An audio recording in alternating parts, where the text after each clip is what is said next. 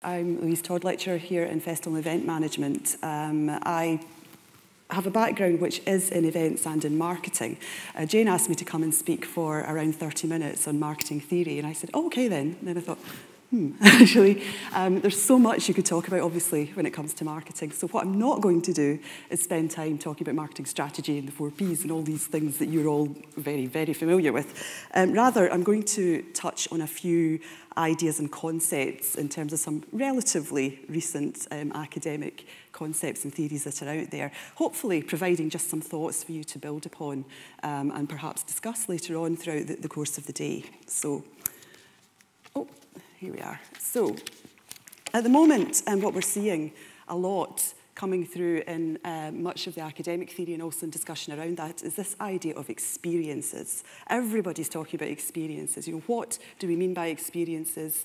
How can we create memorable and engaging experiences? And a lot of it is around this idea of engagement and immersion. You're know, trying to get your consumers, your customers immersed within the experience itself.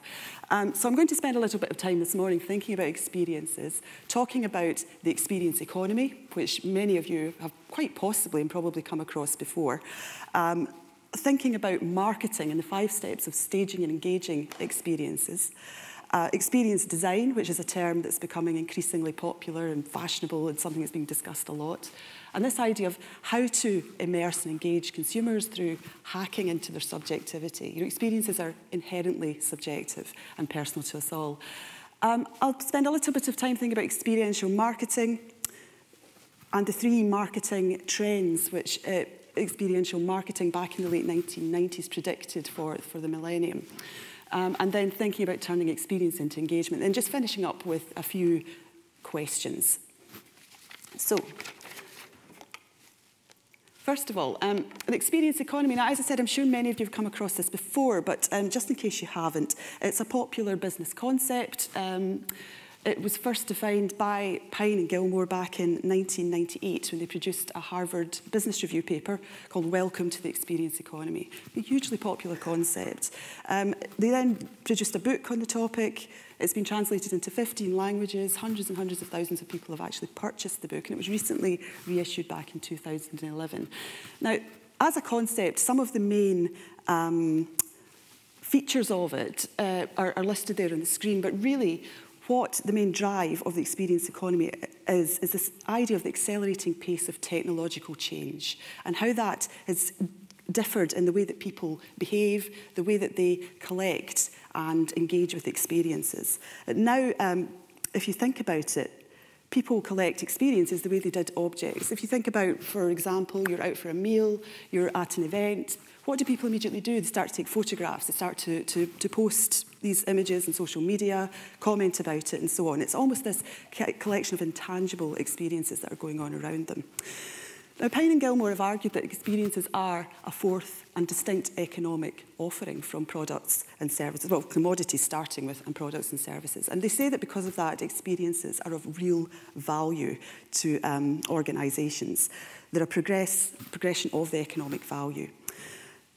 And moving on from that, they say that the experiences created by organisations are going to matter most within this new technology-driven market. Their source of value for organisations and management must focus upon this idea of creating and embracing experiences. Now, you're probably all sitting there thinking, yeah, okay, well, we are event and festival marketing managers. Events and festivals are experiences by the, their very nature. So we can already see that, um, certainly coming through in the academic literature, there's a lot of discussion about how well the experience economy does reflect um, festival event industry. In fact, When the authors were writing the particular text, a lot of the examples they use are from the American leisure and events industry. So, so moving on to um, this idea, when I, I, mentioned that experiences are a, a, new source and a distinct source of value for organisations. Now, Pine and Gilmore um, offered this particular framework to explain what they meant by that. Um, it's maybe a little bit difficult to read, but you can probably see that they have four particular types of um, offers. We've got commodities, moving to goods, to services, and to exp experiences. Now, each of these um, offers a different opportunity to, to organisations. Um, we have the undifferentiated commodities, moving up to differentiated experiences, which mean you can increase your competitive position. Along the bottom axis, the market of commodities um, is, is a mass market through to a more um, premium market towards experiences. Now, an example of this could be the coffee industry, for example. They discuss this within the experience economy, where the coffee industry started with extracted commodities, coffee beans, which we grew, which we farmed, and then perhaps sold on for people to, to create their own coffee. Moving on to the manufacturing of instant coffee from grinding the beans, which then sold in supermarkets, and so on. The goods are largely undifferentiated. And then um, moving on to the service economy, where Coffee was then produced, sold within cafes, and then ultimately to the staging of experiences. Now, the example given there one we're all familiar with could be Starbucks. You're going to Starbucks now and it's become more of a staged experience. You go in, you order your coffee, they ask what your name is so you can collect your coffee. There are all the stories of Starbucks, they've got all the sensory stuff around there. And even increasingly now, this sort of idea is being seen more in all these independent and um, craft brewed coffee shops and so on. Um, James Gilmore actually gives a really good explanation of um, how we can learn about the progression of economic value from the birthday cake. Um, so I'll let him explain that.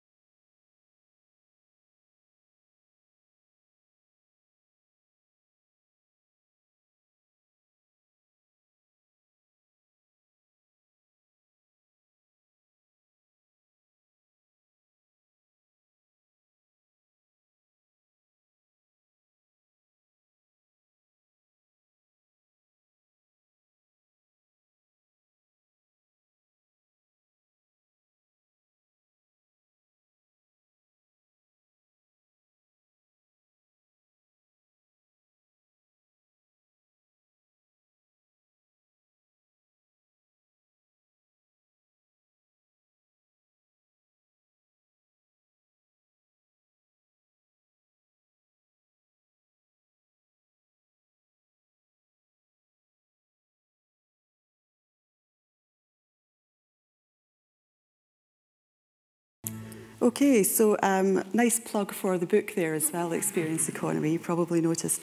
As Jim, James Gilmore says there, people will pay more for a memorable and differentiated experience that will remain with them. Um, you know, how does that relate to events? You know, events obviously are experiences, but what, what could you actually do as event um, marketers and event managers to create these more memorable um, events? So what we can say is experiences are a source of value, But what do we actually mean by experiences and what are the nature of experiences and how can we relate that to, to events? Now, Pine and Gilmore also offer this particular model, which they call the four realms of experience. Um, and it talks about the nature of experience and how experience is formed. And what they um, essentially say is that there are two axes there. Um, The horizontal one to do with levels of participation within an experience. So we can quite passively participate in an experience. You know, as you are doing now at the moment, you're sitting here quite passively.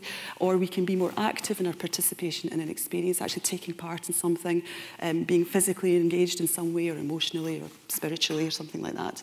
And then the other axis is to do with um, levels of absorption. You can be merely absorbed in an event or perhaps fully immersed within that. And within there, there are four particular realms or quadrants. Now we have entertainment, you know, we could say that all events have entertainment within them somewhere. Um, we're all interested in being entertained. Um, we have educational events such as seminars, conferences, dance lessons, cookery lessons, those sorts of things. Um, aesthetic events, perhaps um, exhibitions, going along to view something in a gallery, all to do with the visual, what you're actually appreciating from it, where you're not very immersed within the event. And then the escapist events, which are perhaps the most immersed and most active participation types of events, where you're actually launching yourself into, um, I suppose, another world that perhaps isn't even real. You know, examples such as gambling in, in Las Vegas, that sort of thing. Now, what Pine and Gilmore actually say is that it's important to... Um, be able to blur the boundaries between these different quadrants and understand what kind of experience is being offered. They talk about this as being um, enhancing the experience, making the experience more real somehow. And they say the richest experiences encompass all four realms. And they talk about the centre there as being the sweet spot. I'm sure you've had experiences before that you could relate to being entertaining, educational, aesthetic and escapist. Um, one for me, and um, Jane might agree because last year we were out in um, Singapore um, delivering a programme on experiences.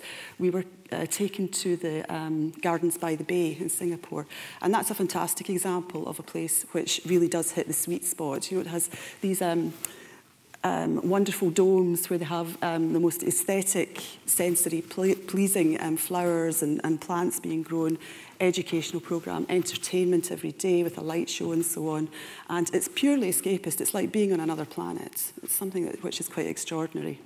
So what comes through from all of this as well, of course, is that experience um, and providing these memorable encounters, these immersed experiences, are very, very personal. You know, they're entirely subjective. So, experiences create value. They can be a combination of being entertaining, educational, aesthetic, and escapist. All of these, or just some of these. But what experiences are the most meaningful?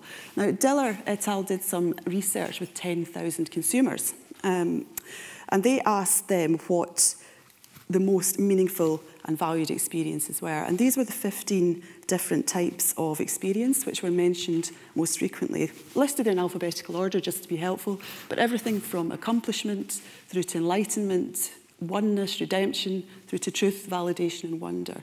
So I really just put that in there because I'm thinking, well, as marketers, you know, perhaps ask the questions of how can these most valued experiences be adapted, applied within a festival or an event setting?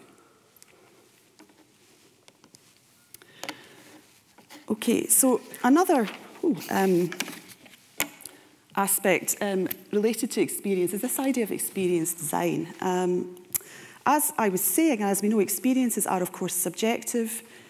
They're something that we have ourselves, they're individual to us, they're unique to us as individuals. Um, now, experience design is uh, mentioned quite a lot. It's um, an approach which I suppose first emerged within um, IT, like computing design, games design and that sort of thing, about designing an immersive and engaging experience for IT users.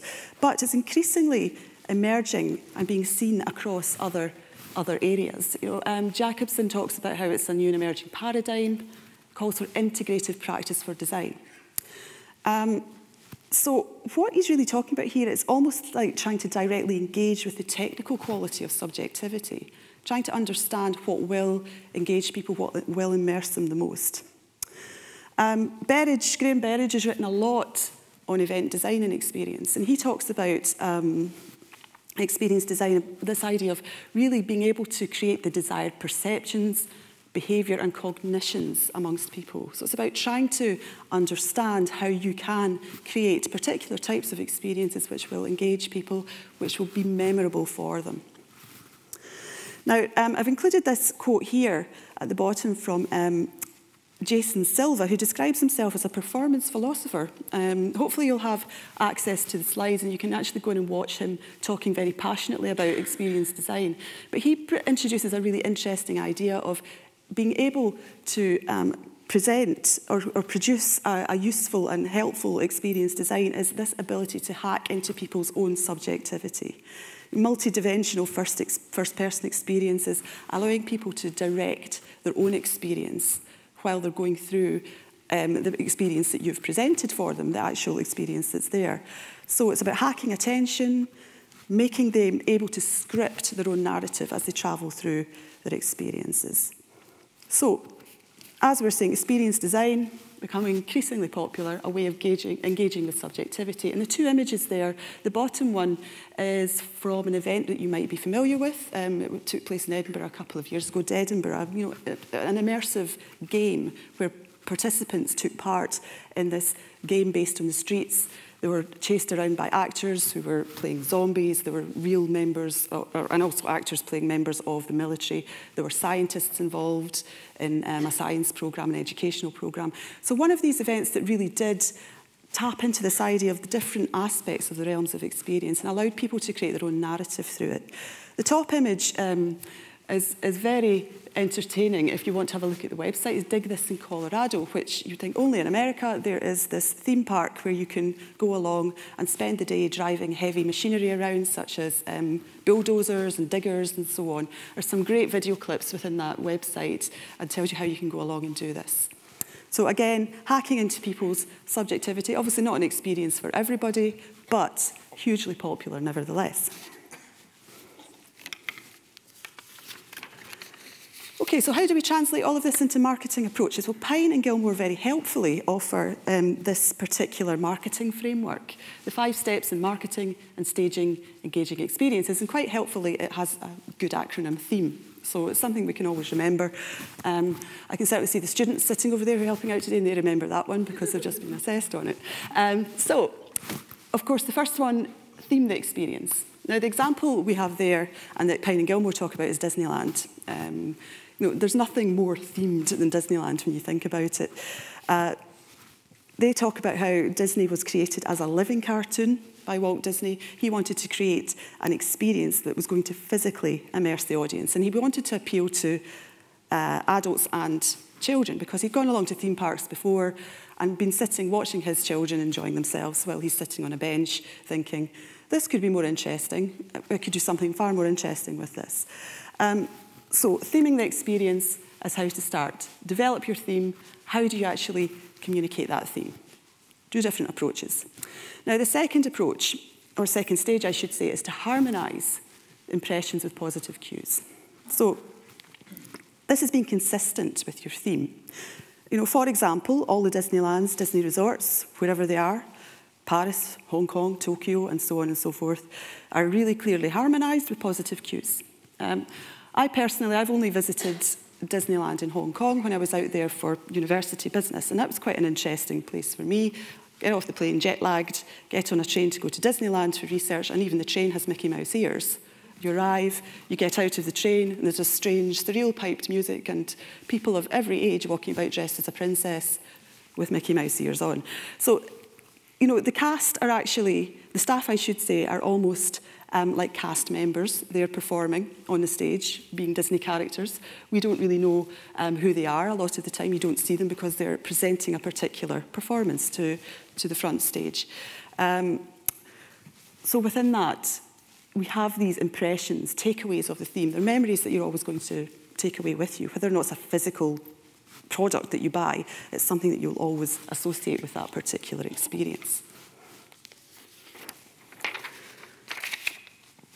So moving on from that, the next logical step is to eliminate any negative cues. So remove any distractions that take away from the theme that you're trying to communicate, ensuring integrity of the experience, and so on. You know, Disney employees are always in character whenever they're, they're facing staff. We don't know what they're doing backstage. Um, this comes from uh, performance theory. Um, Gochman and Schechner and um, um, uh, academics like that wrote about performance theory back in the, the mid-1950s, saying that we all act in a particular way depending on who we're actually engaging with. You know, think about that, it's fairly obvious. We act in a different way talking to friends as we do to work colleagues and dealing with customers and so on and so forth. So think about this idea of eliminating negative cues. The fourth stage is to mix in memorabilia. Um, And it's the idea of this is uh, sort of thinking about souvenirs and thinking about mementos. You know, people will purchase um, tangible artefacts. These can be postcards, other souvenirs. It might just be keeping a ticket stub or something like that. Um, you know, in, in Disney, a great example there, the huge gift shops, you see everybody walking around um, in the full Disney regalia, um, seeing Disney princess costumes and so on. But how can we actually relate that to, to events and festivals? Is there some way that we can build in the use of memorabilia to something which is largely intangible and experiential, something to perhaps think about? And then finally, um, and perhaps one of the most important aspects is to engage all five senses. And this is everything from the music to the visual decor, even the food, even any smells that are around. You know, how can we actually do that. Um, my experience of Disneyland, um, and I'm sure you've all been to Disneyland, maybe more than I have, but I was really surprised when I sat down to eat a meal in a nice restaurant and the carrot slices that came out were cut into the shape of Mickey Mouse's ears. And I was thinking, how on earth, how do you do that? How do you even do that?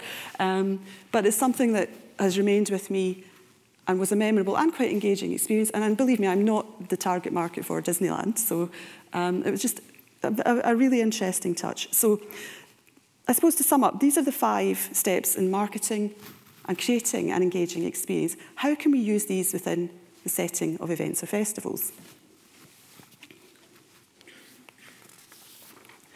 Now, I'll just briefly talk a little bit about experiential marketing, which was, again, another um, concept that I suppose really emerged back in the late 1990s, going into the millennium, Um, Bernd Schmidt's written a book and a few papers about it and continues to do so today. Now, experiential marketing as an approach applies the staging of experiences to goods or services. So it's less dependent on traditional marketing media functions and so on. And its key characteristics, as we see there on the right side of the, the table in comparison to more traditional marketing of products and services, is that first of all, rather than focusing on functional features and benefits of products or services. It's all about focusing on the customer experience. That's what's at the core of it. So, you know, what is the experience that results through um, the particular interactions and so on uh, that, that take place? What are the triggered stimulants to senses and so on? The second um, feature is focusing on consumption as a holistic experience rather than narrowly defining products and category ranges. So how can we think about consumption of a festival or event as a holistic experience rather than just purely going along and taking in whatever's happening around you? No, so it's um, perhaps thinking about what, what does consumption of, it, consumption of it mean to somebody? What is the socio-cultural meaning of that event? What's the personal meaning of that event? And how can that relate to the holistic um, experience?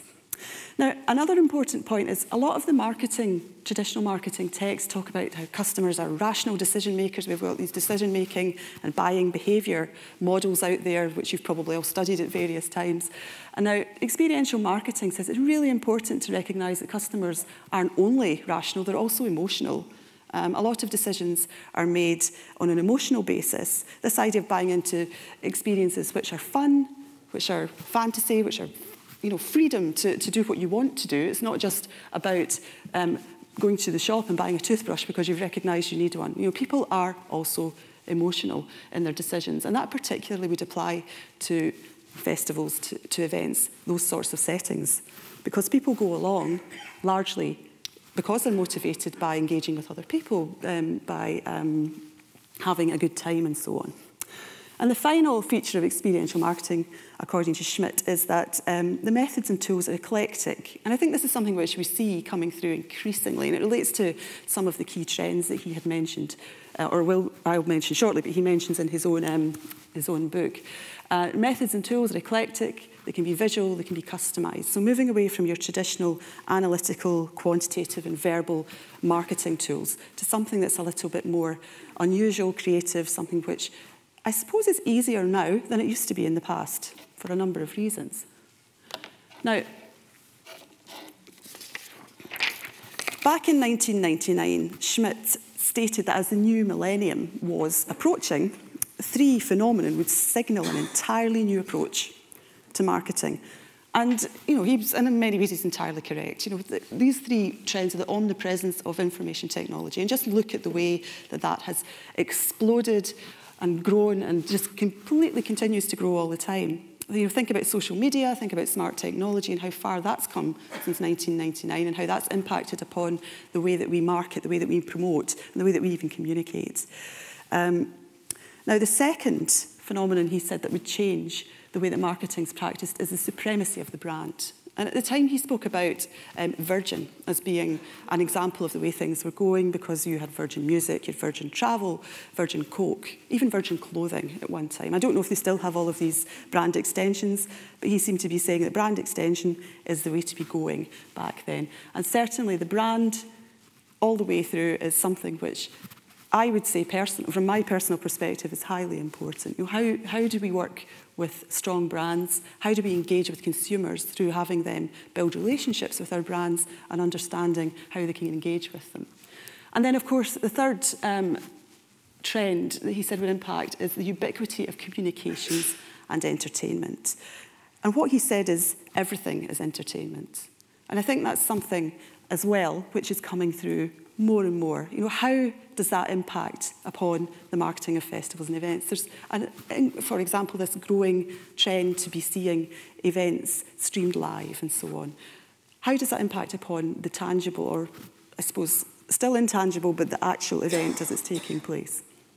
And how can mark, mark, uh, uh communications and entertainment be actively used and adapted within the current environment?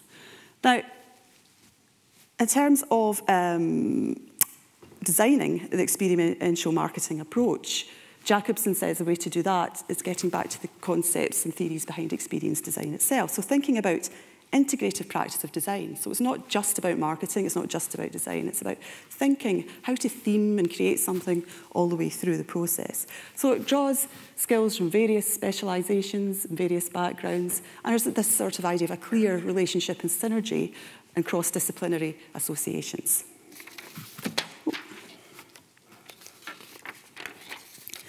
Now, um, Froshot and Batat, are another couple of academics writing about experiential marketing and tourism and events, and they say there are five main considerations when you think about turning experience into engagement and marketing terms. Now, first of all, How does the consumer or user engage with the event itself? You know, is this a physical engagement, a mental engagement, spiritual, some sort of engagement?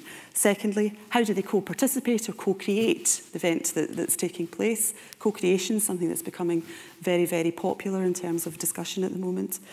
And then thirdly, what's the symbolic value? You know, what's, what's the, the relevance to them?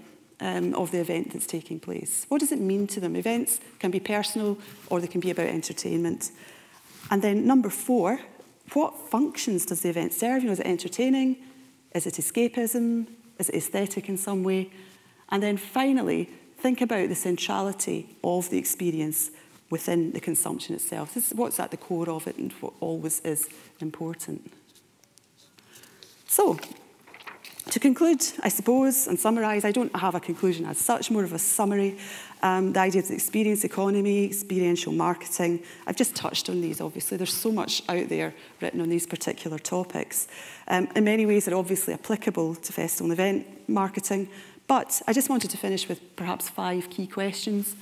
What particular aspects of an event or festival makes it unique, memorable and engaging?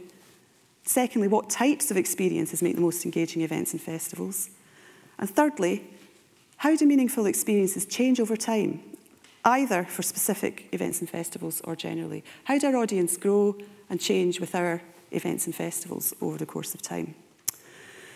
Now, an interesting question, how can we experience, develop experience from the existing interactions of consumers through to new interactions, looking at the way that people interact now? Um, it's not as it used to be. Schmidt predicted that back in 1999 with all these new trends coming into the marketplace. And then finally, how can event and festival marketers address the trends and the challenges of these still continuing um, trends within the marketplace, omnipresence of IT, supremacy of the brand, and this idea of communications and entertainment being everywhere and being all about the entertainment. So, thank you. That's all I had to say. In traditional lecturer style, I've put the references up there. Um, and I understand you'll have access to the slides. So, um, if you want to watch any of the clips or have a look at the websites, please do so in your own time. They're quite entertaining.